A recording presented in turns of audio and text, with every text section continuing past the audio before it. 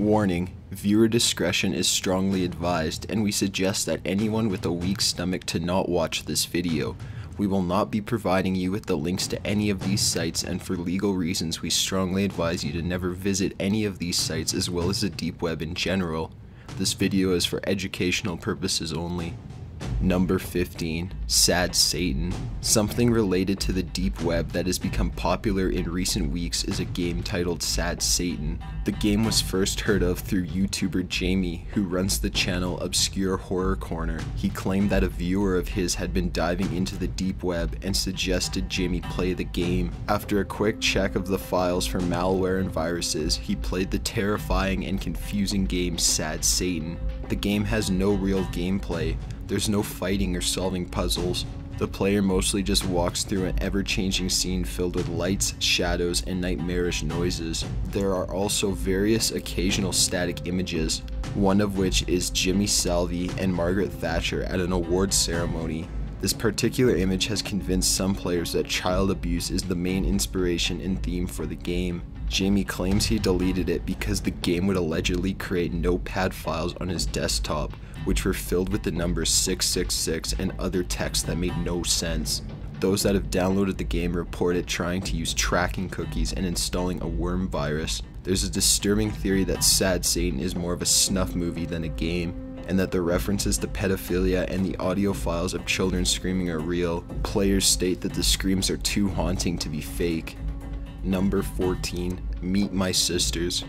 Basically, a porn site that offers a sight into an incestualized form of sex slavery. Meet My Sister's bio states My dad had always a kind of strange liking for his girls. They both were raised with a lot of sexuality at home only at home. He taught them to obey his commands and wishes. A few nights in the cold and dark basement and some other small punishment had been very successful. They grew up as his private little sex toys, always ready to please. Once he had a friend at our house, and he made some compliments for Jennifer's nice ass. My dad offered him to touch her ass in return for a few bucks. A new idea was born. Since then, my dad regularly invited friends of his to visit my little sisters. They had very much fun in fact. My sisters got very popular in the area. When I got a clue what dad was doing all the time when I was with my friends, I saw endless opportunities opening this service to the broader public. The site also has a quick pricing guide that allows you to buy certain packages. The MySis YourSis package promises execution within two weeks. We can only assume this means the worst. It's sick to think there are two girls out there that are being forced into sex and are just awaiting the right offer for their death. Number 13 how to Cook Women. Among several gruesome forums on the deep web, this website entirely dedicated to how to cook women is a very unique one. At first it may seem like a joke, but as you go in and dive deeper into the content you find that it's deadly serious. It's actually more than just your average cookbook. There are pages dedicated to which parts of flesh are better for which sorts of meals, how exactly to cut them, including demonstrations and recipes. It is mostly a forum for cannibals. They share stories such as the first time they tasted female flesh, how they claimed their victims, and if applicable, the sexual encounters they had with the post-mortem bodies before indulging in their meals. Among all of these are also photos of dead females cut to pieces and being prepped in the kitchen. The worst part of it is that there are people who post on the pages that claim to work in restaurants. There are rumors that the site has been shut down, but others claim it's still around somewhere. Number 12. Animals Nightmare. The site is mostly a forum with videos and photos posted by the site's members. The main theme of the site is animal abuse. Animal abuse videos of all kinds are posted, everything from things done on purpose to street cameras of animals getting run over. Animal lover or not, it's hard to see why anyone would enjoy inflicting torture on creatures a fourth their size that can't even fight back, that literally do nothing more than whine and wish for mercy. Some of the things posted that are done to animals are cutting, stabbing, burning, choking, tearing apart, beating, and even raping. That's probably just the icing on the cake since most visitors to this site simply state you don't even want to know what I've seen. Number 11, Daisy's Destruction. Not much of a sight, rather than a story from a site. The snuff film titled Daisy's Destruction is a very real video that displays a young girl called Daisy being exposed to severe whipping, torture, and a whole range of sexual acts, along with beating, rape, and mutilation of her genitals. Daisy is claimed to have been from age 3 months to 6 years. The creator of this film was Peter Scully, who made a few other similar videos while living in the Philippines and running an international pedophile ring that offered pay-per-view footage of children being abused on the deep web. On average, Scully would receive about $10,000 from these videos. Although Scully was the main person involved in the creation of Daisy's destruction, his 18-year-old girlfriend and former child prostitute Carmen Ann Alvarez also helped him. Scully and his accomplices have since been caught, and Daisy's destruction is now nearly impossible to find, although it's disgusting to think anyone would want to find it anyways. Number 10, Doxbin a more in-depth and terrifying version of a phone book that is sure to make you feel unsafe for the rest of your life.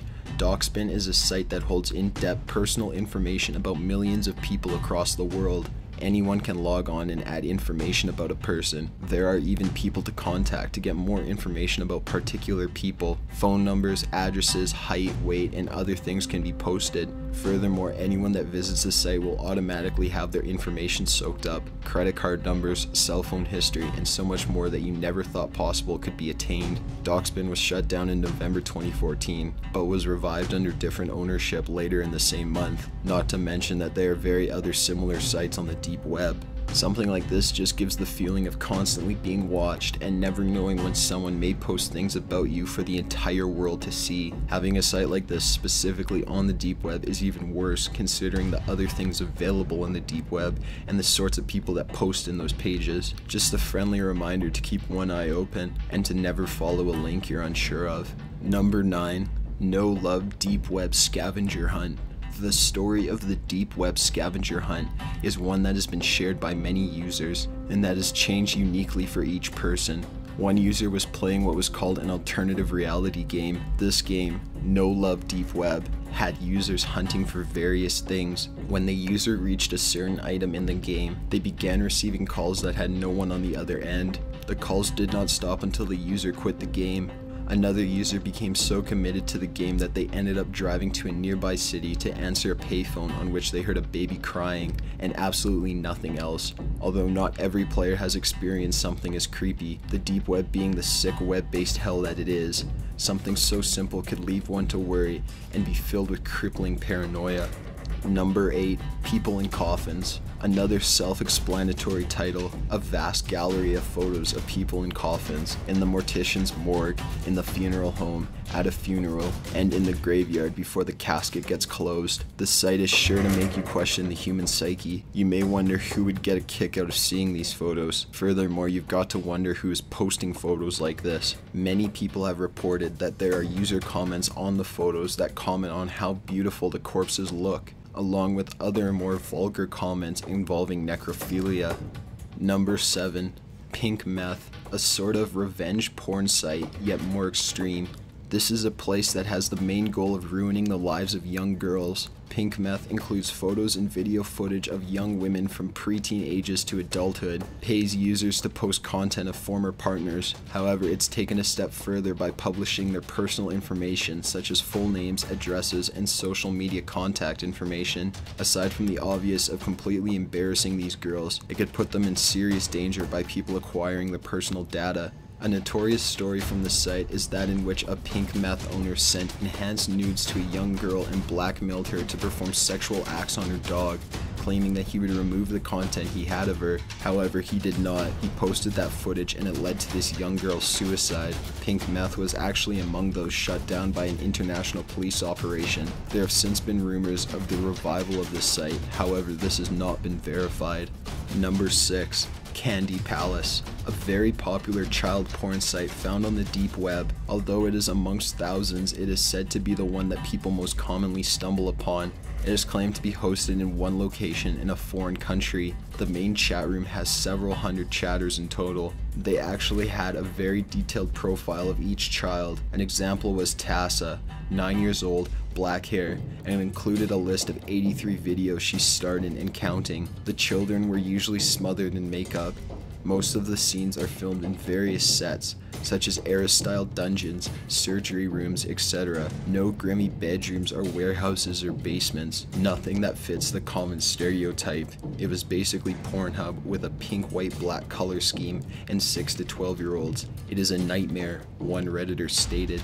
Number 5. Child spirits from abortions and miscarriages. On the deep, dark, terrifying web, you can pretty much find anything you'd like to buy. Anything from weed to pretzels are available. However, there's a site that sells something slightly more questionable. Miscarriages and abortions are the two forms of death before birth for the fetus.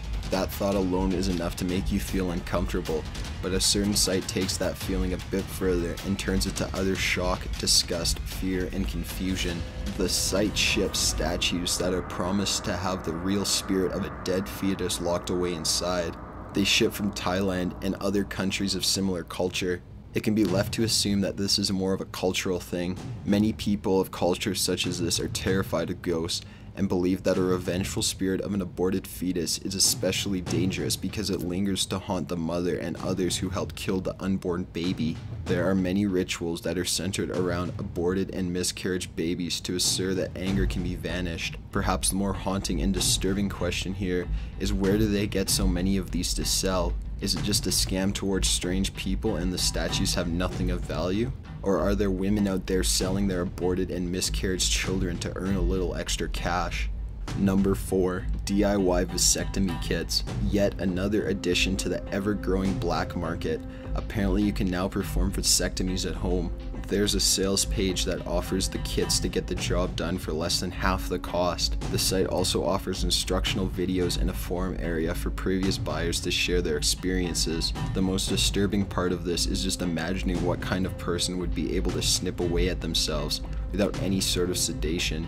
Just to emphasize the kind of pain this may cause, a vasectomy is a form of contraception that involves surgically cutting or blocking the tubes that transport sperm from the testicles to the penis. Doing this wrong could lead to complete destruction of the genitals and even death. Number 3. Dead Girls. One of the more disgusting sites available, Dead Girls is said to impact the lives of its visitors in an extreme way. It has even been rumored to lead to mental health issues by those that accidentally stumble upon it. The name is pretty explanatory. It's just a site filled with gruesome photos of dead girls, roughly aged 5 to 16, dead, laid out in open fields after being brutally raped, beaten, and murdered. The pictures available are very detailed and close up. For some odd reason, most people that have reported visiting this site claim that the photos are mostly in Montana. There's not much more information out there about the content on the site other than the general photos. Furthermore, it's unsure whether or not any of the victims have been identified. Number 2. Human experimentation. There are many types of red rooms. One of the most talked about is a site that posts videos and photos of gruesome acts being performed on humans. The sickening torture against these people is excused as human experimentation. The site states at the top that not every human is born equal and that the experiments done are in order to prove that point. The main attraction of the site is a feature in which you watch live video of people being tortured and in which you pay for it to get worse and more gruesome. It is known as the pay for pain feature live starvation, sterilization, infliction of diseases, drug trials, infant exposure to x-ray, lobotomies, sodomy, medieval torture such as tearing people limb from limb are all just examples of things done to these poor people. There's even a page on the site dedicated to infants and toddlers. However, the majority of the experiments are done on homeless people picked off the street. The site also claims that the dead are thrown into dumpsters of meat shops in order to not be found. The validity of the description of this site only comes from those that have been daring enough to venture to this site. Not many go looking for this sort of thing. Number 1. Extreme Boy Stories Aside from the illegal drug and weaponry sales, the deep web is known mostly for child porn. The site titled Extreme Boy Stories is possibly one of the worst child porn sites on the deep web. The content ranges from photos and videos to forums. To put things as lightly as possible, the page is dedicated to the brutal raping of young boys. Boys vary in age from infancy to young adolescence. Those that have shared stories of coming across this site claim it's more than just rape, which is bad enough on its own. There have also been sections dedicated to gore that involves young boys, and shared stories of murder. Coming across something like this will literally make you sick if you're weak of stomach or have any moral at all. It's the type of deep web content that shakes you to your very core and makes you question the existence of such foul actions. Got an idea for a top 15 list? Submit it at top15s.net slash submit. Be sure to subscribe for future videos. Thanks for watching.